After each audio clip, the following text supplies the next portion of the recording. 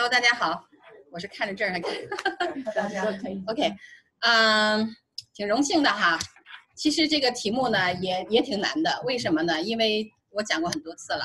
其实我是希望在不同的市场讲同样的东西，但是如果面对同样的观众，让我讲同一个话题，这个需要动脑筋的哈。对，这个不是一个简单的事情。那我就简单分享一下哈，因为开始昨天李英老师跟我讲说，你呃主要是讲一下独立带团队这一块儿哈，因为这一块儿似乎哈我们团队，我可能我觉得业绩在李英老师的团队里可能不是最好的，但是我相信可能我们的团队的独立性来讲，可能是让李老师比较省心的那一支哈。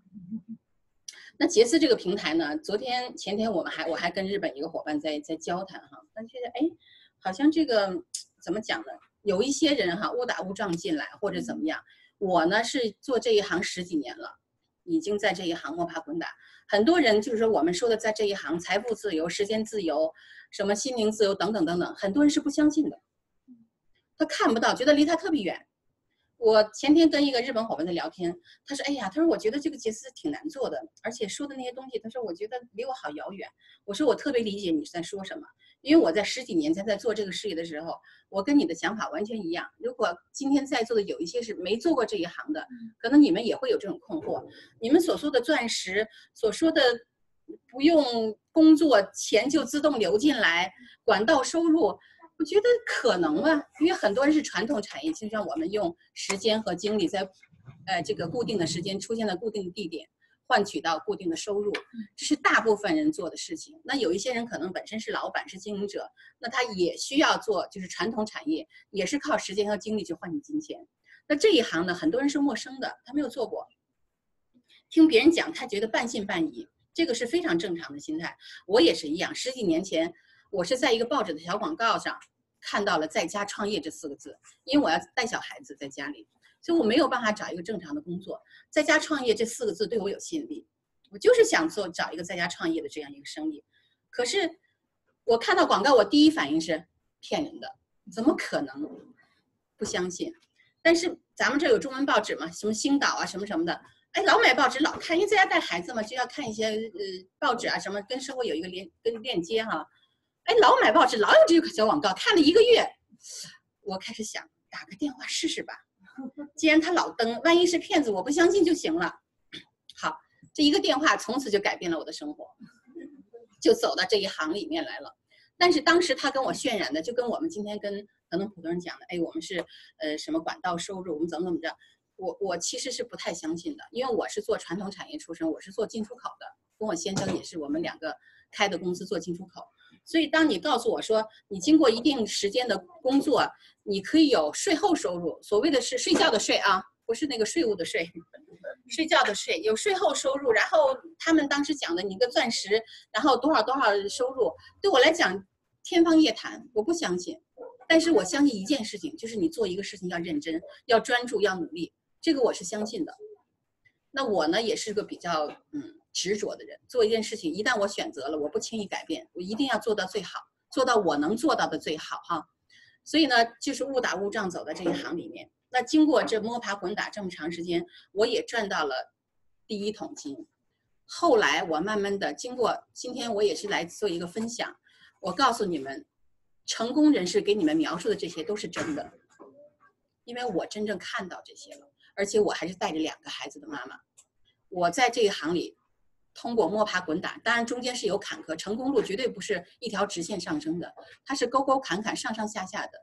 但是经过这么多年的打拼，在我前面的公司也好，在杰斯也好，我真正看到了他们当时给我描绘的那些东西，这是真实存在的。所以你们不要说，哎，我没看到东西，我就不相信。你跟我说的天花乱坠，那跟我无关，这个是真实存在的。但为什么你还没看到？因为可能你的时间还没还没到。可能你努力的还不够，可能你做事的方法不对，很多很多的因素，所以成功它不是偶然的，需要一定时间的磨合和打拼。那么我呢，想说的是，我真正在这个行业看到了这一些，那是用我的呃努力换来的。我看到了这个愿景。今今天你们可能今天我讲完以后，很多人还是心里半信半疑，没关系，你继续往前走，只要你不放弃，只要你坚持往前走，你终有一天会看到我。或者其他人跟你描述的东西，真的是有税后收入，因为我现在旗下三十多三十多个国家了，那东呃就是说亚洲的，以后北美的，嗯，除了非洲，非洲现在没有哈，其他的国家那确实就是税后收入。你早上醒了，一看哦，就有进账了。那你晚上睡觉之前看一看，和早上醒来完全不一样。确实是，确实这个事情会发生的。所以我从不相信、半信半疑到最后完全相信的，是需要一定时间的累积。所以很多人今天你们不要不相信别人跟你说的，因为虽然你没有看到，那我呢误打误撞走到了这一行。也之前也成功过，为什么我又一次选择了杰斯？我也想分享一下我的心路历程，可能有些伙伴也是新第一次听哈，我简单分享一下。那我重点要讲的是，在这个运作当中，你怎么样能够快速的让团队成长？我简单分享一下我的看，从我的视角来看杰斯。那如果大家都是类似的公司，李英老师跟我分享的时候是几年以前哈，所以当时他分享的时候我没在意，因为我做的跟他的公司是类似的东西。啊，也是保健食品公司，那我也在上升期，跟公司的高层关系都很好。那我也就哎，反正就是公司就是产品也公司都类似嘛，可能我没有想切换的这个这个理念。那一段时间之后，李英老师去打拼了，我也在原来的公司打拼。那最后过了一段时间哈，李英老师可能从中国回来，我们又有一次呃机会哈在一起聊天。那当我看到他的这个成就的时候，我看到他很坦白的讲，我是看到他的收入的时候。我才开始要去研究这间公司，因为我觉得大家类似嘛，产品也类似，什么都类似。那为什么一天就二十四小时？虽然我带小孩，可能我时间没有李英老师呃那么的付出，但是也不可能差出很多倍来，时间就这么多。所以当他的收入比我高很多的时候，我就开始思考了，那就是公司的奖励机制决定的，公司的产品决定的，因为产品。跟其他的不同，大家重构率才会高嘛，对吧？所以我看东西是是从，其实坦白讲，是从看到他的收入开始，我才下决心说，哎，我要研究一下这间公司，我看看它到底有什么不同。为什么我们都打拼都是钻石？林老师钻石，我也是钻石，我在我们那家公司我也是钻石。那为什么我们收入会有这么大的差异？就是说，同样都是钻石，这个名称是一样的，但是含金量是不一样的。这个就是我要研究的点了哈。那我研究第一个。因为我是专业，我可以自称为专业人士，十几年的打拼了哈。那专业人士，我看东西视角可能跟你们不太一样。我相信很多人就是哎，朋友介绍，我因为相信朋友，好，你说好我就吃吧。嗯。甚至有一些时候，呃，我就是为了挺你，我也不知道他是啥，咱讲了半天我也没听懂。嗯。朋友关系好，你要做好，我挺你，我买一单，是不是很多人是这样进来的？其实他听的时候不太听懂商界什么的，很少有人是特别清醒的分析，然后去查或怎么样，最后进来的。很少，其实我们第一单进来，大部分的伙伴都是懵懵懂懂的。嗯，好，好，但是我呢就不是懵懵懂懂的了，我肯定要用过去十几年的经验和阅历来考察一间公司，因为你从山顶走下来是这很挣扎的，你要放弃很多东西，所以我不会轻易去切换，但是我切换之后，我也不会轻易去切换，就是这么简单一个道理。所以当我考察的时候，第一个。公司要有实力。什么叫有实力？我不希望我很努力打拼完以后，当我开始享受成果的时候，公司不见了。有没有这种情况？嗯好，很多公司。那么经过分析哈，百分之九十的公司可能是九十五还是九十的公司在两年之内都不见了。百分之九十九的公司在五年之内都不见了。那这样的公司刚开始的时候，我听过市面上很多公司，也很多人递橄榄枝过来，但是都是一阵风。哇！大家说这个公司做好又好的哈，说了一堆很炫的东西。其实就像游泳一样，如果你自己不会游泳，你老换游泳池是没有用的。你必须自身具备这个能力，你才能在一家公司里踏踏实实赚到钱。就像树一样，你扎的根在地下，又拔起来，又换个地方再种，它永远长不成参天大树。所以不要轻易去切换，就是选择你爱的。真正了解透以后，选择你爱的，然后爱你所选择的，坚持做下去，你才有可能看到收获。所以，当我选择的时候，第一个公司实力要强，我不希望我在公司不在了，我可以不在，公司要在，但是不能倒过来，因为我付出了这么多，时间也是成本啊，对于我来说，对吧？对于每个人都是成本。我付出了这么多，最后公司没了，那我这几年打拼算什么呢？我不希望遇到这样的公司。好，开始考察公司的实力，公司的实力。大家都知道，公司的研发人也好，从研发人来好，从这个创办人来好，而且创办人的初衷他是已经功成名就了。创办人的初衷也很重要。很多人创办他们的创办人是科学家，是研发产品的高手，但他不会做市场营销。而且有些人在研发公司的阶段、创办公司阶段，他的目的就是要赚钱。嗯，我们公司的老板他已经功成名就，他退休三次了，他又发现了一个好的商机，他是为了让别人草根或者我们普通老百姓能够有一个翻转人生的机会，他的起心动念是不一样的。那么他在设计制度和他在设计很多的包括产品的时候，他会去考虑是不是让普通人能够受益。这个起心动念不一样，你设计的公司相对来说，因为你让别人受益，他就要发出来钱多嘛，他就要产品要好嘛，对吧？那当他把自己的利益放出来的时候，是不是我们普通人就受益了？当你受益，你能赚到钱的时候，是不是你就愿意留在这里？所以，一个公司的实力很重要，公司的创办人他是否专业也很重要，而且他的起心动念是什么？他创办公司的目的是什么？赚钱是附带的，每个公司的创办人一定都是有赚钱的诉求，但是他不是他唯一的诉求，这点非常重要。好，这是我要考察的。那再一点，公司的实力大家都知道，我们获了那么多奖，是不是？我们的这个奖杯在总部都已经放不下了，专门一个一个一个展展示，包括我们的这个跟服务器，大家都知道这些故事，好，就不不在这里细说了。那我们的实力已经就摆在这里了，科学家都是顶级的。创创创叫什么？干细胞之父，抗衰老的第一任理事，所有的科学家都是顶级的。那这样的一个公司，相对来说，它的实力是很强的。而且我们跟六家公司，什么谷歌了、苹果了，我们都知道哈。呃，Amazon 什么什么，Facebook，我们是跟他在六年之内营业额评级的，达到十亿美金以上的公司。这样的公司实力够吗？绝对够呀。所以我相信，在这样的公司不会说我还在，公司不在了。这是第一点，很重要。他的实力要够强。第二个就是我刚才说的，创办人是否专业。很多的公司创办人他本人是科学家，他研发产品没问题，但是他不懂营销，营销做的不好，你光一个公司光产品好，它不一定能生存的很好。很多公司都证明了这一点，它最后不见了。嗯产品可能还好，有的人说，哎呀，我还想找那个公司产品没了，公司没了，想吃产品没有了，产品很好，所以一个公司又要产品好，又这个创办人又要有经验。来经营这样的公司，那就很厉害了。嗯，再一个，刚才我讲起心动念，如果他是以赚钱为唯一目的的，因为李英老师经过很多以前很多公司，当他发展到一定时候的时候，他就会有一些不好的东西出来，就是他的呃私私欲啊，创办的时候他以赚钱为盈利为为目的为唯一目的的时候。当公司发展到一定阶段的时候，他就开始出现一些政策上的变化，等等等等，就为了他的利益，他不考虑经销商的利益了，就会出问题。杰斯不是，杰斯的创办人他已经功成名就的时候才创办这家公司，因为他看到金矿了，看到这样的商机，他愿意重新再来一次，他的付出能够让更多的人有机会去翻转人生，这个勤动念是非常重要的。那再一点，我要考察的肯定就是产品了，产品有什么特别吗？大家。保健品公司那么多，我为啥吃你家的？刚才罗医生讲的非常专业，我一直在那记笔记，恨不得就嫌恨想去学速记了哈，写的太慢，我也把它录下来，回头再整理哈。所以我们的公司的产品是非常顶尖的，跟别人不同。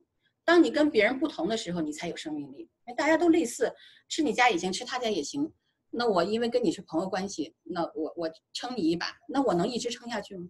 不会的，撑两次好了。就就已经很不错的朋友了，所以当你产品有很多的见证，有那么多的科学家、医生，这么多医生在做，我看过很多公司有医生在做，但是没有杰斯这么多。医生本身这个这个临床医学和和这个这个叫什么？我们我们这个叫做预防医学，它是两个两个两个领域的东西，很多医生是抗拒的，一开始都是抗拒的。但是你要知道，医生也是人，他也有疾病啊。好多医生他自医不自医，他自己身上的慢性病多年来都调理不好，而且他们我听过很多见证，完全不相信。你跟我讲你是一个普通人，你讲这些医学理论，你哪有我专业？怎么可能你介绍东西给我吃呢？完全不相信，不吃。可是架不住这一次两次的，人家在推荐都是好朋友，那他自己的慢性病这么长时间也没见好啊。你像他们讲个笑话，你你去看高血压，那医生说我自己还有高血压呢。我能治好我，我自己早好了，是不是？那很多的药是要长期服用，吃就不能断的。那好了，那医生本身是拒绝的，抗拒。但是呢，因为某种特殊的原因啊，经过一段时间一直抗拒就不吃就不试。但是中医有一天有，我记得有个中医好像是讲的，有个朋友说，哎呀，反正你都已经这样了，我产品都送给你了，你就吃试试呗，万一有什么效果呢？结果他的病都很多年了，一直都不好。结果吃这些产品，在很短时间内得到改善，他自己就开始讶异了，原来还有这么神奇的东西。其实好多慢性病靠药物是没有办法的。现在医学慢慢都在发展，我们还是有未知的领域呀。通过细胞修复，你可能真正的达到健康。那很多医生当他自己内自己的身体发生变化的时候，我们都知道有黄博士，他为了阻止他太太去吃或者做，他研究了多少篇学术论文，中文的、英文的，看了一千多篇，最后说啊，这东西你可以吃。他为了阻止他才去研究的，最后发现这东西可以吃。而吃以前他做了各种体检，一百多项，平常不做那么多检查，就为了证明说我吃完以后看看效果。结果效果让他自己压抑。他也是医学专业博士啊，那这么多人在，医生通过自己的身体的改善，他才开始相信，然后才开始分享。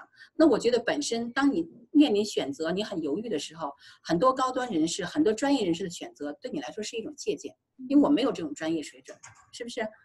包括很多我看到这个这个这么多的这个医生在推广，什么科学家，什么什么什么各各行各业的都在推广，嗯。这是我看到很多的这个这个方面的哈，那我就刚才我想的就讲的另外一个领域，就是说，当我考察你的产品是不是有特殊性，我跟你同样都是从业人员，那你跟他他跟他讲了这个 N 公司，这个跟讲了 H 公司，我夸叽来了个 J 公司，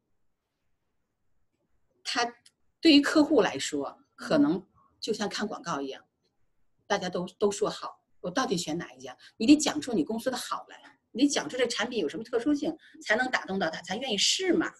对不对？那那么多见证，或者他愿意试我们的产品，因为吸收率高，很快就见见效果了。那效果出来了，是不是他就相信了？至少在一段时间之内，他相信了，他的朋友可能也愿意去尝试，可能也会相信。所以说，产品是非常重要的，这也是我考量的这个公司的一个点。你产品必须有特殊性，没有特殊性，大家类似，我就不一定做一个切换和选择。好，再一点很重要的。就是它的奖励机制，这个呢，对我们每个人都很重要。不要说一谈钱就俗，一点都不俗。我是因为看到李莹老师的这个收入，我才会想去了解这间公司的。因为我们很多人是奔着经营来的，或者就算我吃的好，我便宜点吃不更好吗？对吧？好，那就要看他的奖励机制了。奖励机制，首先这个老板，这两个老板给很多家公司设计过奖励制度。那他当他自己开开公司的时候，他是不是要把最好的给自己？他把很多奖金制度里面不太人性化的、不太容易让伙伴们赚到钱的，他把它摒弃掉了，然后他留下好的部分，最大限度的保证公司的这个正常的营运之外，最大限度的把奖金比例分出来给伙伴。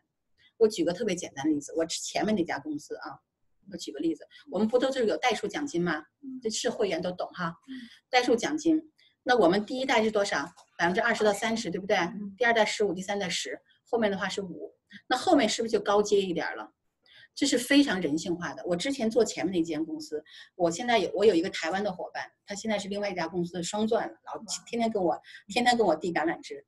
那他研究制度很很很熟练，他当时就跟我说，他说温迪啊，你你现在都就是说你那个品位够高了，你跟公司可以直接对上话，你能不能让他们改一下制度啊？因为我们原来那家公司是前面放的少，后面放的多，这就不懂的人根本不会不会去比较的。你不懂呀，啊，反正这都是你有对等奖金，我也有，我也有代数奖金，他也有，我也有就行了。他不会去分析啊，你这个前面可能你放了百分之五和七，后面的话放了百分之十甚至十以上。那你要知道，他是画了个饼，你看到吃不到，毕竟后面的人少嘛，高拼接的人少，而且你要上到这个拼接，你才能享受到。你享受虽然多，公司实际上放出来的是少嘛，是吧？我就不提我前面的公司名字了哈。当然，他也培养了很多。我只是说从这一块制度上分析，杰斯就很做的很漂亮。嗯，他把大头都先放出来，因为我们蓝宝就拿三代了嘛。嗯，三代你算算百分之多少了？三十加十五加十，已经拿到百分之多少？五十五了。我们那家公司前三代可能拿到百分之一一代百分之七。前三代的话，可能才拿到百分之二十一，嗯，后面就放的多了。后面你高聘的时候，十十几就上去了，嗯。所以他当时跟我讲是个男生哈，他说：“哎，你能不能跟公司讲讲，这个这个应该把它倒过来才对，改一改。他是很很很有这个理念的，但是我就想，我说我本事再大，我也没办法影响到公司去改变制度，这是不可能的事情。嗯，当时他就提到这个问题了。那到杰斯，我看到这些东西的时候，我知道杰斯是很有爱的公司，他会愿意把自己的大部分，因为达到蓝宝，我估计在座很多都是蓝宝了吧，或者蓝宝以上拼接，达到蓝宝并不难，因为他只是你有了三十六人的团队，你就是蓝宝了。再往上的话，有一些业绩要求，达到蓝宝不难。啊，大概我们正常的时间大概一到三个月时间。那么，如果你达到蓝宝，就能拿到百分之五十五了。后面高拼接的人反而分数低，呃，反而给的比例低。那因为你你可以从很多其他途径赚到钱了嘛。嗯。他给你的比例低一点，但是你家不是人多，你最后拿到的也不少。但是这样是非常合理的一个一个布局，它的制度上奖励机制。所以我在分析说啊，它奖励机制是不是好？值不值得我从山上走下来再做一遍？因为我们知道打市场是最累的。嗯，我我是不愿意轻易切换，因为我知道从零开始又又又开始一遍，前面一段是最辛苦的、最累的。那么我就要去思考这个制度了。好，所以制度看完很简单，大家是不是觉得很简单？五个手指头都数不过一遍，就制度就说完了。有的公司制度有一次有另外一家公司，还是他们好像在咱们温哥华最高聘的，给我讲。讲那公司讲了二十多条制度，哎呀，跟我说我们公司多好多好，怎么样？你看我们分出来这么多钱，天哪！我都是专业人士，我都没听懂。我就在想，你给我讲了半天，我当时听懂，回去以后再一看，这条是咋又懵了？那这样的公司好不好复制？你可能这种给一点，那种给一点，放出来二十多条奖金制度，但是可能总比例并没有那么高。另外一个，你好不好复制？这个特别重要。嗯，因为这一行就叫复制和传承。嗯。我们的比我们的奖金一二三四五最多五条讲完了，嗯，特别简单。那简单的东西是不是就好复制，容易理解？很多人可能还不理解，但是当你开始奖金进来的时候，你到后台去看的时候，你就理解了啊，这钱从哪来的？你就要去动脑筋想了，你不能糊里糊涂。我今天赚了一百块，我都不知道钱从哪来的，不会的，你一定会去想。但是就这么几条，扳着手指头都数清了。所以我讲奖金制度，我说不超过一分钟，一二三四五讲完了。他们那个拿个纸在那画，我们这有一条什么什么达到什么条件怎么着，那个一条二十多条，我全整个都晕掉。这样的公司是不能做的，再好我也不做，因为连我都复述不出来，你怎么能想象让普通人没有这一行专业的人，他能复述的出来给别人能讲清楚呢？他自己都稀里糊涂，怎么去传承啊？所以，所以奖金制度非常重要。那我看到李英老师的收入，我就想，他一定是。差异在制度上了，因为我觉得我也挺努力的，虽然时间可能稍微少一点，因为带两个孩子，但是不会差那么多，是吧？你那二十四小时算下来，吃喝拉撒，然后你工作的时间，不可能差出多少倍来。所以就是奖励机制决定的，这是我要考量的。刚才我没数数了几点了哈，这几点。好，产品奖励机制，再一点非常重要的就是我会看重销率。重销率代表着什么？代表的我反复使用产品的概率。对吧？那重销率高的两种，一个是经营者。那经营者他为什么愿意重销呢？因为他能赚到钱，他才留在这儿吗？他没赚到钱，他干嘛要重销？他就不愿意留在这儿了。第二点就产品有效，不用你说，我下个月自动去买了，我甚至还敢促销，我多买点，是不是？所以我会看重销率。可能你们很多人就不会想到这个问题，反正你说好就吃吧。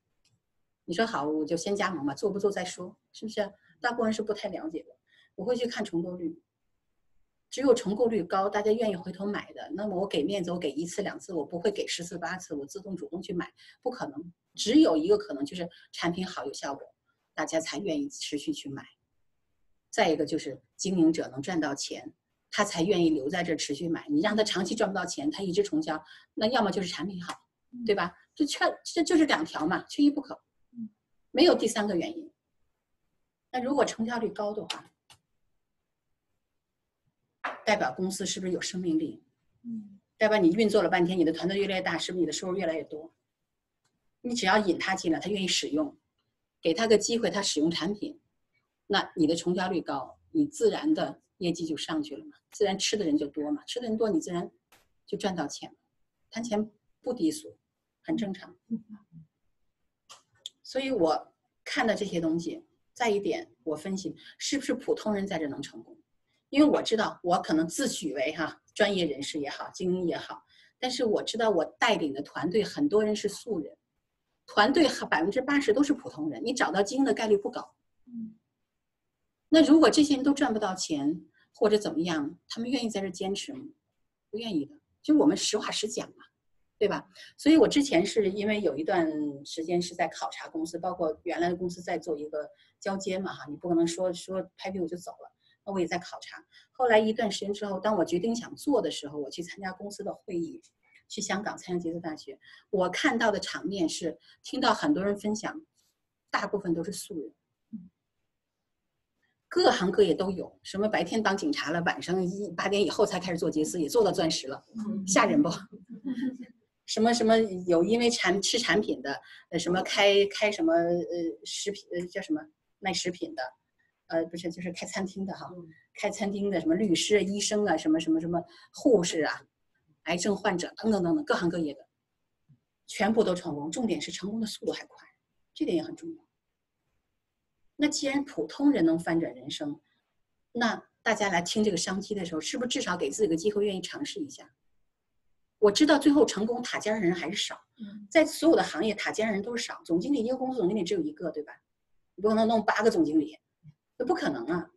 传统行业也是一样的，塔尖人永远是少，但是他给了很多人翻转人生的机会，而且这些人他们有的人在上钻石了，在那分享的时候掉眼泪。他没想到他会有这样的一个生活，他翻转了他家族的人生，不是光翻转了他自己的人生。嗯。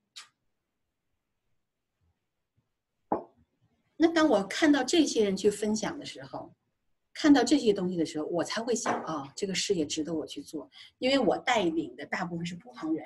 如果这些普通人在这里能看到希望，他会不会愿意拿一年到三年时间来搏一下？可能他愿意。如果他看到都是专业人士在分享啊，我之前怎么样，或者我是在这一行做过多少年了，或者我本身我就特别成功，那普通人的机会在哪里？当你觉得他根本连 hope 连希望都没有的时候，可能他就不太愿意坚持，遇到困难他就要去撤了。而且我在这个里面看到高端的很多，甚至上市公司老总，大家都知道那几个耳熟能详的，低端都低到比我们。可能生活还不如什么矿工也好，什么三轮车司机也好，是吧？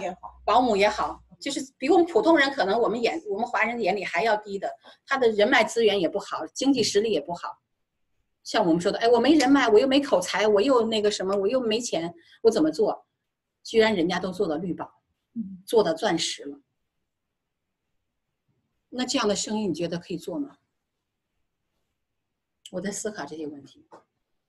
如果普通人在这里也能成功，那你就可以带领很多人带着希望去工作。终究有一些人会脱颖而出，会改变他们的人生。嗯，所以大家愿意在这里坚持。好，最后一点我分析的，赚钱不稀奇，重点在速度，对吧？这都是我刚才说这几个点都是我要考量的。那我知道很多人在这里面。大部分的钻石都是三年之内成功的，这是让我非常讶异的事情。因为在传统这一行里面，要达到钻石，像我刚才说，基本都叫钻石，含金量还不一样呢。嗯，他可能在杰斯钻石年薪百万，他可能年薪几十万而已，都叫钻石，对吧？所以说成功的速度，而且在杰斯三年之内成功，我觉得它跟跟现在的商机，一个是说它产品好，奖励机制好，再一个现在跟互联网结合起来了。这个大趋势在这里，所以杰斯快。很多人在传统这一行可能做个十年八年的，可能我们讲安利，哎，不不不不不提名字了哈，我们叫 A 公司好了。它的钻石的年收入是七十万人民币，达到钻石要多少年？我估计得六到七年。那六到七年我赚到七十万人民币，在我们杰斯就是一个红宝的收入。如果是这个红宝的那个，呃，就是说他他这个怎么讲？就是他的业绩哈，一直是一直是匹配的话，他应该是这个收入。在杰斯用多长时间？一到两年，快的可能更快。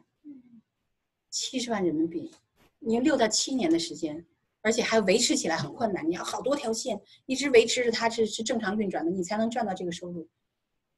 那在杰斯一到两年和六到七年，你觉得呢？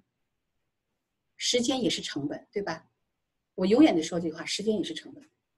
如果我能快速成功，我绝对不拖长，因为拖长那个时间是很痛苦的。你一直在仰视别人成功，是很痛苦的。所以成功的速度越快越好，把成功的时间拉短，而且他给你的天花板足够高。你在别的公司六到七年，你赚到七十万人民币的收入；你在杰斯一到两年，你要做六到七年，天哪，至少李莹老师的收入了吧？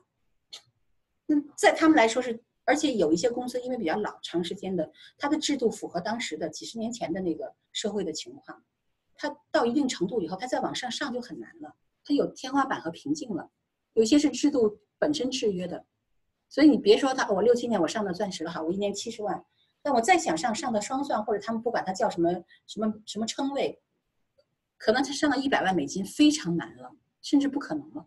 嗯，那在杰斯空间太大，我用三年的时间打拼，我觉得上到比如说一百万美金的年年收入，因为我们上到钻石的话，就已经是公司的股东了嘛。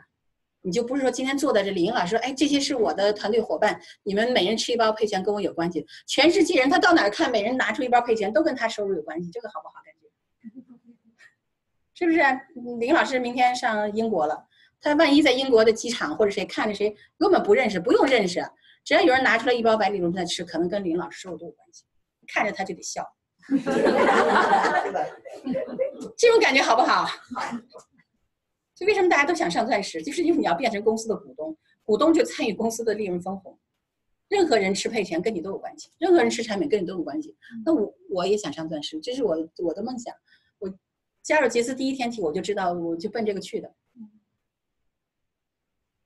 所以至少杰斯提供给你这样的机会嘛。李英老师讲过，你可能不是家族这个财富的继承者，但你可以作为家族财富的创造者，是不是？类似话啊，我可能没没复制对，这个意思是对哈。我老是这句话记不住，脑子短路，所以大概就是这个意思啊。所以我在考量一间公司的时候，我值不值得从山上走下来去切换，我就考虑了上面一二三五七这些点。可能某些点你们没考虑到，当你不太了解这个行业的时候，或者是你可能考虑的比较浅，没有我，当我下决心要放弃一个。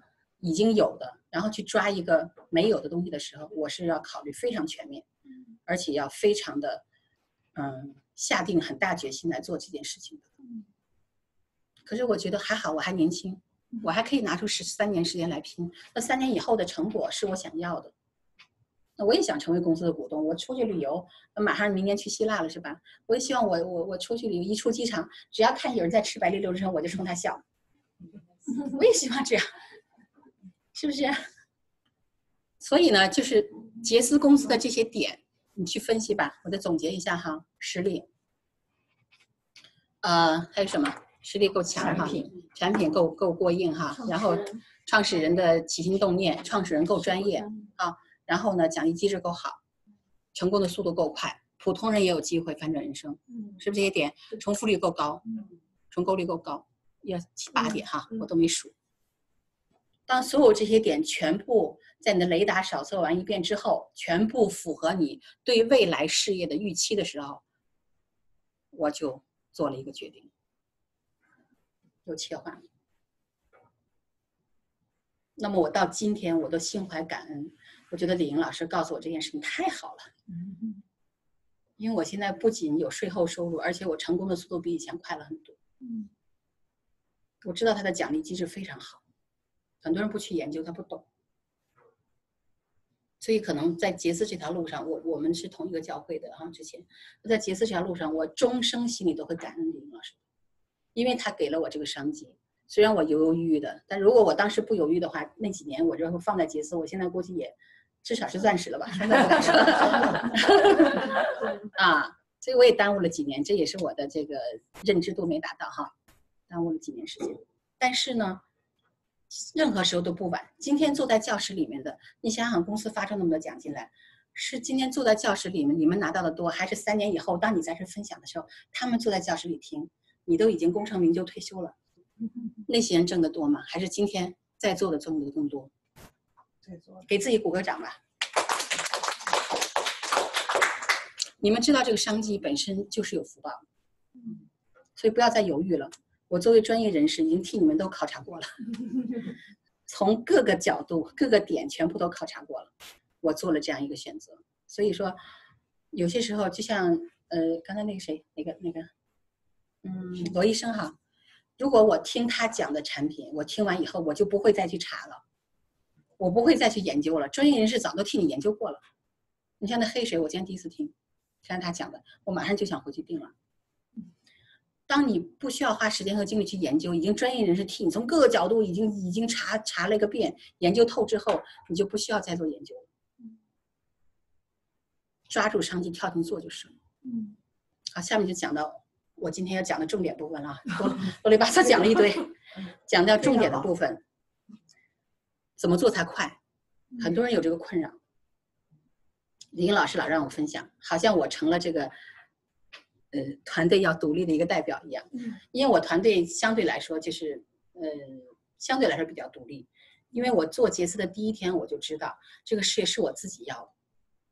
大家都知道李英老师特别忙，他团队特大，他我加盟的时候他团队已经很大，他已经是钻石了，嗯，他团队很大，我就在想，第一个，他团队很大，他微信里人很多，你今天留言给他，他得查半天才能知道看到是你吧。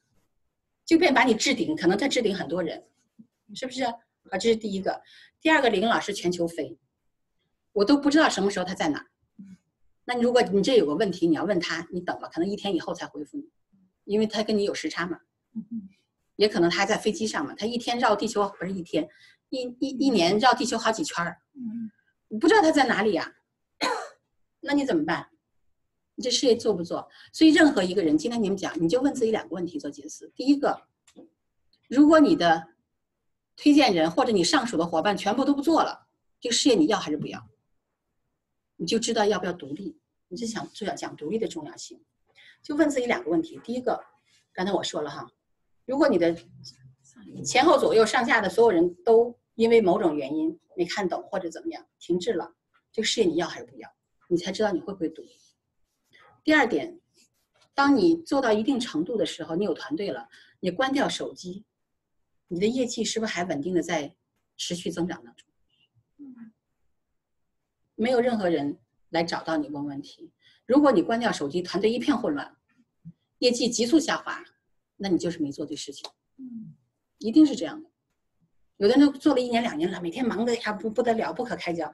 我我我我在想，为啥他那么忙呢？一定有事情没做对。好了，做杰斯哈，很多人把自己的定位没弄好，这是心态问题。因为呢，他既没把自己当老板，也没把自己当成打工的，他把自己当成第第三种角色。等一下，我告诉你第三种角色是什么。第一个，如果你今天是老板的话，我们在杰斯哈，我们讲怎么样叫独立呢？就是你能够处理基础的问题。而不是说，哎，一问题就夸一个微信丢过去了找人。嗯，那你要知道，你找这个人，他也许在开车，也许在弄孩子，也许他有他的事情，他有他的生活安排，他不一定马上就给你回复呀。他不是二十四小时的随时在线的一个一个客服呀。如果他不给你马上回复，是不是你的团队事情全在这等，大家就不发展呢？一定不是这样的。所以我在做这个时候，第一个我有两件事情，我我有我我有想过，第一个就是我肯定要做钻石，这个不用想。第二个就是。我告诉我自己，我一转身就是悬崖，所有问题到我这截止，我才能把这个团队带好，才能做得快。你要说都依赖李英老师，因为客观条件限制嘛，你没有办法。他是想帮你，他有心，他有时差，你怎么办？他也不知道你什么时候问问题，对吧？所以呢，就是说，我想这件事是我在一做的时候我就很确定，而且我经过过去的经验，我知道你越独立，你团队发展越快。你独立的速度就是你团队发展发展的速度，这样讲比较直接一点。所以呢，很多人在在最开始做的时候觉得，哎，我有问题就往上丢吧，他不回复我，那我这事儿没办法，我没法解决，就卡在这儿了。事情一卡就拖，整个团队都拖着慢，而且有的人同样问题问好几次，是不是有这种情况？有的人跟我讲，哎呀，我的伙伴今天这个了，明天那个了，我还得我还得不仅要照顾他的事业，我还得照顾他的情绪。我还得哄着他，我天天得还得听他倒精神垃圾，哪有这回事？所以他们既没把自己当老板，如果他是老板，今天我坦然讲，他投资了一笔钱在一个事业上，你能想象他三到六个月，他他他投资这件事情他完全不了解吗？不可能的。如果他有今天每个人有老板的心态，这个是我自己在创业，他不可能到三个月，因为我们讲三个月是蓝宝嘛。我希望说在三个月前我们会扶着带着，三个月之后你要独立了。哪有一个老板说三个月之后我还不了解我今天做的事情呢？不可能的。第二个，他也没把自己当成打工的，因为叫打工，如果你是受聘者，你进了一个公司去，你是不是战战兢兢的？你的老板给你布置任务，你能说我不会？不可能吧？会坚持不到三个月你就被炒了。是不是？所以你既不把自己当老板，我需要独立，你也没把自己当成打工的，你把它当成很多人哈，我不是说所有人，很多人把自己当成一个施恩者，嗯，恩情的恩，我今天你欠了我了，你欠我的，嗯，我随时随地二十四小时给你找到，你不回复我，回复晚了我都不行，别说不回复我，是不是？好多矛盾，好多抱怨。今天他这个了，明天他那个了，所以呢，我们自己首先，我我在做培训第一堂课就是如何做一个合格的下属，不是首先如何做一个成功者，你如何在这个行业首先做一个合格的下属。当你知道明白你自己的责任和义务的时候，你将来才有可能变成一个合格的上属，你才会有团队嘛，你才会带领团队嘛。很多人是需要引导的，他不懂这一行。但是我们引导是有时效性的，我是有时间的，我不可能一一辈子当你拐棍儿吧？那我还其他团队怎么办？我时间是有限的，团队越来越大，我就这么点时间。所以我们每个人要学会自我成长，要学会独立，不要把自己当成施恩者，因为你签了我了，所以我对你有恩情，你就应该分分钟的就就听我召唤。你不仅你业务上要照顾我，你还得回复快，然后我的不良情绪你还得照顾到。我还得一天到晚有抱怨，你还得听着，凭什么呀？一个小时你给我多少钱？我做这些事情啊，是不是？所以每个人要有好的心态，良好的心态，别把自己当成施恩者，你应该当成一个感恩者。别人把这么好的机会给你了，把这么好的方法、成功的方法教给你了，唯一的就是你没做而已。所以我今天早上刚好看到一篇文章，说失败只有两种，一种是不经思考就做事情。一种是经过思考以后永远不做，失败就是两种，所以很多人就是心态就没对，一进来心态就没对，抱怨也好怎么也好，所以说这个就是很多团队不不发展。但是作为我们的上属来说，你不要老去惯着这种心啊。所以为什么怎么样团队独立？第一个我心狠，所谓的狠是加引号的哈，我不是说你不管他，你要放手他。但是，就像我们小孩学走路一样，你一直拉着他，他永远不会走；你一松手，他就摔跤。但是他有没有这个过程？你要让他有。所以，有的时候，当你问题让他自己解决的时候，他的能力在增加，增加了能力，他的团队的战斗力就强。你不要不舍得他摔跤啊！他去谈单，哎呀，他谈单，他谈的不行，你能在旁边听吗？刚才刚开始会议开始前，北文老师问我说：“你们学你们谈单的时候，你你怎么谈？”我说：“我不谈。” PPT 吗？他们自己谈，我在旁边听。我只是起点画龙点睛的作用，他没谈对或者哪点，通过我的视觉给他增加一些好的东西。PPT 每个人谈都一样，产品制度什么什么的讲的都差不多，这些东西不用我去讲。所以我去跑市场的时候，都是一定有团队团队的那个领导人跟着的。那 PPT 都是他讲，我不讲。我每天见很多人，我要讲我就累死了。我不讲，都是他讲。讲一遍我听，而且他讲的时候我可以听，可以纠正他嘛。哪个地方讲的不太好，哪地方加强，对吧？都我讲学不会的，所以说你要放手，学会放手也是一种能力。很多是抱着，哎呀，觉得谁都不会，我都给抱着，抱着最后自己累个半死，自己开始抱怨。你抱不动了，你一个两个抱着，十个八着，一百个你还能抱得住吗？抱不住了，你只有让他们自立，不自立的团队是没有生产力的。所以我的团队的，我的团队的就是说我贯彻东西，问题到你截止，别往上找了。怎么解决这个问题？特别简单的一个方法，打客服。嗯，特别简单，很多人都会。有人说，哎呀，打客服时间长。是啊，你照你你问题丢给我，我也打客服，也时间长。我不敢说我是能力最强，但是我一定是我们团队打客服最多的那一个。为什么？因为我需要成长。最开始的时候。长的唱歌唱呗，我别别别的，平常我我该干啥干啥，我手头有卷头，我有其他的工作，听到手机放旁边唱歌就唱呗，啥也不影响我，是不是？他终归会会有人接吧？那你这个问题，经过人都是这样的，越付出得到的答案越越越觉得珍贵，是不是？我打一次客服，客服这么难打，哎呦，我最好都学会了，以后不打客服了，是不是？有的人问题你丢给他答案了，下一次还问同样问题，他伙伴的同样问题丢上他还问，他永远记不住。你让他打一次客服他就记住，哎，客服好难打呀，我下次这个问题我不问了，我一次把问题问清楚。我以前怎么做？我打客服都是攒好几个问题一起问。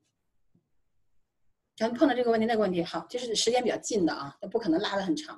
时间近的哈，这个问题那个问题好，我都不太明确，有点模糊点。所以什么叫有经验？有经验人不是说你碰到的困难少。而是我知道这个事一定会发生，我提前在那等着，做好准备。所以我打客服一定是弄一张纸，一二三四五，可能这几个问题我都有模糊点，我不是很清楚是左还是右或怎么样。打客服时候我一次一次把它问清楚。我对我是我觉得我是我们团队打客服最多的那个人，不是说今天你是绿宝了你怎么样？你们看的都是闪光的东西，你没看到背后的付出。那好，所以我团队都复制了，问题到我截止。每个人都这样想的话，是不是就没问题了？我们允许他刚进来前三个月，你去去问问题，我们扶上马，再送一程，我们带你。但是你不可能永远是巨婴啊，永远长不大。这个事业是你的，不是我的。我的事业是我的，你的事业是你的，对吧？所以学会打客服特别简单。客服是干嘛的？就是给你解决问题的。你所有问题在客服都能找到答案。我可以这样讲，或者不要说那么绝对。百分之九十八的问题，九十九的问题，在客服那都能找到答案。他就是干这个的，就是为我们解决问题的。最多的就是我打客服时间等的长一点，最多就是这个吧。问题最后还是能解决。而且我也建议你们，有的时候，比如说你要带团队了或怎么样，我的理念就是上了蓝宝以后，你就有三十六个人的团队，对吧？你应该就自立了，三个月。你就应该自立了。如果你上了蓝宝以后，你还问最基础的问题，那就是你没做对事情。所以到我这儿没有基础问题问到我这里，上面还有还有二十五碰呢，五十碰，一百碰，还有红宝呢，怎么可能经基础问题问到我这里呢？那这些人难道都不会吗？所以你只要是上了蓝宝，你今天有了蓝宝的拼接，你就应该有。蓝宝应该具备的水准，带小团队的水准，你基础问题应该都会。除非有特殊的，突然发生一个什么事你没经历过的或怎么样，有一点模糊点是有可能的。但是，客服我刚才讲了，可以解决很多问题。像我举个小例子哈，前天我团队一个很厉害的、很厉害的一个一个一大支的领导人，我也不叫他名字了，给我打电话。一打电话时候打客服，先告诉我问题，我已经打了两次香港客服了。然后什么什么什么事情，但是我还没解决。我说好，再打第三次，我教你怎么说。如果还有问题，你再来找我。没找回来。你客服就是解决问题的，难道你打了两次电话，你都在客服那解决不了问题？我就不信这个邪。难道我去打就能解决了吗？嗯，一样的，他给我的回答是一样的，但是你要会问问题。我教他一个方法，我告诉你，你再打，你这么说，他就没再回来了。什么叫绿宝？什么是红宝？你的时间是有价值的，你只解决他们解决不了的问题，你只去谈他们谈不下来的人，对吧？这是你的价值所在，你的每一分钟都是有价值的。就像他们举例说，比尔盖茨地上掉了钱了，他都不值得弯腰去捡一下，因为他一秒钟赚到的钱比那个多得多，是不是？绿宝也好，钻石也好，红宝也好，你是有价值的。什么是你的价值？你考虑别人想不到的东西。你考虑团队的整体的发展、培训，然后呢，你去谈他们谈不下来的人，你去解决他们通过了打客服或者其他方式都解决不了的问题，到你这儿问题截止了，这是你要做的，这是你代表你的水准。基础问题是问不到你这儿的。我一个伙伴也是一个团队的领袖，他说一句话我终生都记得，他说：“如果我团队的人基础问题找到你来问，他说是我的耻辱，代表我没带好团队。”我一直记得这句话。团队都是这样培养出来的。每一个人要了解我为什么做杰斯，我的职责是什么？我应该懂什么？我应该怎么带团队？上蓝宝你就应该知道这些了。没上蓝宝之前，OK，你还可以有问题问。但如果今天你的聘金是蓝宝，基础问题你就不能再往上找了，找是不对的，一定事情没做对。所以说，做杰斯那天，我就说我跟那个日本那个伙伴 谈，他又说：“哎呀，听你讲的怎么？你什么时候在做培训？我听你讲的又简单又明了，我都记住了，而且我特别爱听。这是什么？这就是你跟别人的不同。好容易，哎呀，我能跟他约上时间，能够谈一谈。谈完以后，你就解决了他的问题，你把它启动了。这是我要做的事情，或者这是红宝要做的事情，而不是今天。”拿一个我哪客打客服我就能解决的问题，我天天来问，因为我们不是二十四小时客服，我们也不是二十四小时保姆。我花了十几年的时间才弄明白这件事情，因为我之前没有人跟我讲这些，我是自己琢磨出来的。所以杰斯是我赚钱速度最快，而且呢，呃，我最轻松的一间公司。以前我都是，你们每个人都有体会，保姆式的上锁。恨不得每个人我都呵护着。半夜十，我就记得半夜十二点了，我开着车从 Burnaby 不从哪儿，反正一个鬼地方回来。半夜孩子自己在家，两个孩子哈互相照应着，我就开车开回来，风雨交加的过那个桥的时候，听着一些歌，我就开始想：哎，我在干什么？这不是我要的。很多人我相信你有同感，因为我去谈的时候，B 角色还没在，光 C，B 说：哎，我今天有事儿，反正那个人约好了，你就去吧，我就去了。现在这种事情是不可能发生的。嗯，作为母亲，我们都知道，孩子不是他哭闹，他要什么就给什么，对吧？每个母亲都会这样做。但是作为杰斯来讲，如果你是把他带领进来的人，你也有这种心理准备，不是他哭他闹，他要什么就给什么。嗯，你会被他牵着走，他要的东西很多，从他的个人的考量各方面，但是不一定你这样做对他是好呀，他永远脱离不了拐棍儿。他永远不能自立，还是我刚才讲的问题。你关掉手机，你的业绩、团队业绩还能增长吗？是不是？如果你的上属、你的、你的、你的这些人都都都不做了，你还做吗？你就进来就问自己这两个问题就行了，然后你就知道该怎么去解决这个问题了。所以我刚才讲的打客服是一个特别好的方法，教你们一下。你要想将来不打了，你就一次多问几个问题，以后就少打一点。好，你要让你的团队伙伴成长，让他一次多问几个问题，以后就少打点，就这么简单。唱歌就唱呗，没所谓，反正我该干啥干啥，我就听他唱歌。突然有人说话了，我就拿起来了。别的你还可以照干呢。你不是不能工作，我就举着电话一直在听他唱歌，那也是浪费时间呀。所以你要学会去怎么样去整理自己的情绪，怎么样去处理这些事情。当你变得越来越强的时候，当问题到你就截止的时候。你的团队就会发展非常快，嗯，而且你还轻松。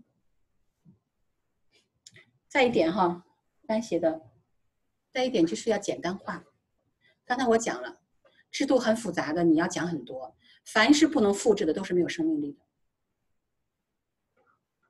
我记得李明哈暂时讲过一个东西，很多其实我们有的伙伴很有学习的心，他学了很多东西，学完以后越学他越不会说了。越学越胆小了，就不知道面对客户我有这么多好的东西，我拿出哪块给客户分享呢？就分享乱了。我团队也有伙伴这样，越学越不会说，越学越胆小，越越说不到点儿上。嗯，所以你最好去找一个，因为我们钻石很多，光我们团队钻石就很多，李宁像这样的，或者是其他的团队的钻石，他们有很多优酷、YouTube，你能找到很多东西。你找一个你最喜欢他风格的，就跟着他走就行了。这样是不是简化了？嗯。你不用看很多东西，你每天花很多时间学习，学完以后弄得你自己无所适从。嗯，我个人观点啊，不一定对。我个人观点就是找一个你很喜欢他，你喜欢他的风格，他也是成功者，按照他的方法复制，对你的路就好了。因为我们不管最后殊途同归嘛，最后我要的是结果，是吧？其实所有在我团队里面，业绩说话，业绩就是结果。业绩代表什么？代表你有收入，代表你团队的会员有收入，那才能持续嘛。业绩才是硬道理，所以你要么是在做业绩，要么是在为提升业绩做努力，其他的全部是成本，对吗？没有必要花在其他事情上。你只有要么提升业绩，要么为提升业绩做努力，去改善某些东西就行了，就记住这两点就行了。其他的东西都是成本。所以呢，我就想把这东西简单化，你们可以自己去考虑，因为每个团队的不同的地区还会有点差异。啊，不同的区域它有文化背景底蕴的差异，不同的国家，那根据你了解的东西，你去尽量让这个团队发挥到极致，把它简单化，简单就好复制，好复制的东西就有生命力。有的人讲了很多，很专业，讲了很多，或者是有的钻石也讲了，我就听李明老李明钻石讲说，有的钻石讲了一二三五七八九十，讲的很好，可是呢我记不住，记不住怎么办？他说我反正是记不住，那我就每天都在想，就是怎么样把这些东西简单化。越简单越好，让大家能记住、能复制，就有生命力了。啊，所以这个可能需要你们自己下面去做一些，呃，资料上的整理也好，或者是讲解上的这个整理。因为客户其实，你满足了客户需求，可能很很简短，他也可能也会也会加盟或者签的。你讲了一大堆不着边际的，不是他要的，你讲一个小两个小时可能都签不下来，大家肯定都都有同感。所以简单化、精准。然后简单通俗易懂，别人能吸收到你你说的东西，而且这东西别人能学会去复制，这个就是我们要做的。再一点，这点有点 tricky 哈，这是我个人的经验，就叫延迟回复。每个人，我举个小例子哈，我团队有个伙伴，因为我刚好那天有事情，确实是不能看手机的，要么是开车，要么干我忘记了有事情，然后我一看，哎，这个人给我留言了。留了两条，第一条你听着火急话，哎呀，我你快救急啊！我就呃说了一堆，特别着急。第二条是，哎呀，没事了，我实在找不着你，我自己打客服想办法解决了。两条两条信息是连着的，所以什么叫延迟回复？他不一定要，因为没有说着火了要要救火这个事情发生，做杰斯没有的。当然，我所说的这个是你根据情况去处理哈，你不要所有事情都这样做，那你自己有个判断。当你有些东西你告诉他，就说他问问题的时候，因为你可能很忙嘛，你可能在干别的嘛，是吧？没有办法去控制时间。你稍微延迟一点回复的时候，他当他等不及的时候，他就自己想办法了。所以善用这个啊，不要去乱用，善用你自己去总结好。你是我发现这个方法让很多人成长，这是我自己总结出来的。稍微延迟一点回复。当他着急火上房了，他他解决不了的时候，他就要去想别的办法去解决。那最后这个问题是解决了。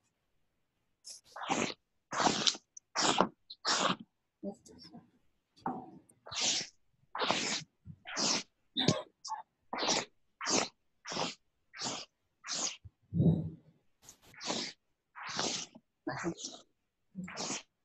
看点视频。好，这个就是就是一些小的小的这个。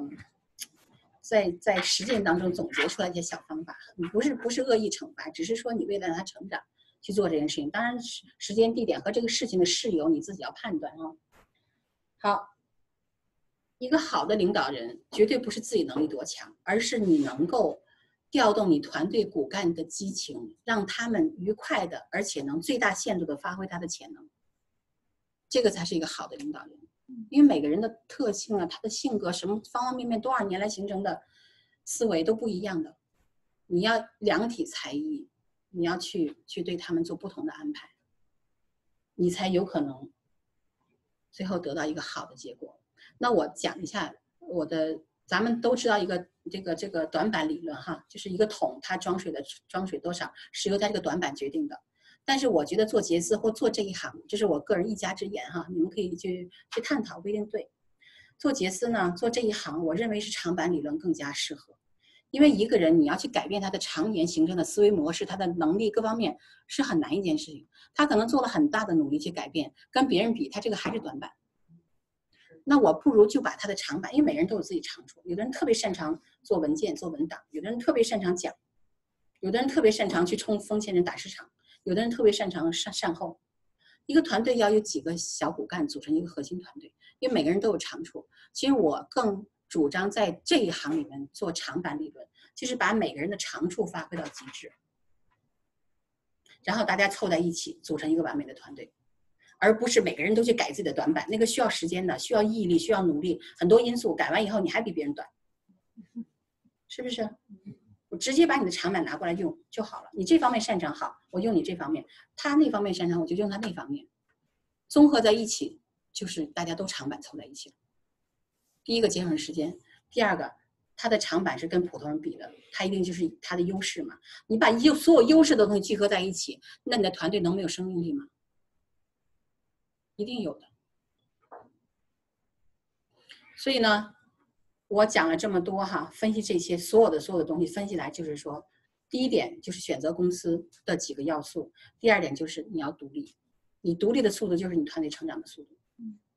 没有任何理由，在我团队不讲理由，不讲原因，不讲什么，我要结果。结果说话，其他的都是成本。好，今天就分享这么多，谢谢大家。谢谢。